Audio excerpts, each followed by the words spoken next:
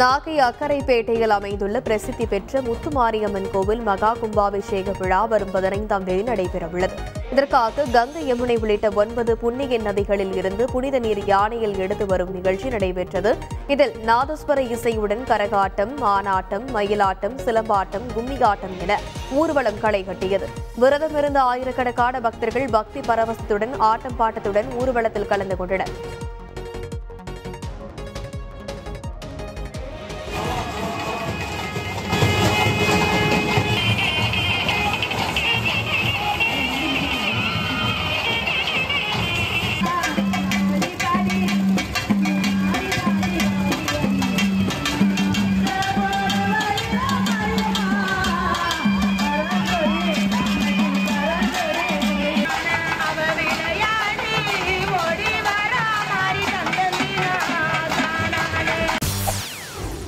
செய்திகளை உடனுக்குடன் தெரிந்து கொள்ள உடனே சப்ஸ்கிரைப் பண்ணுங்க.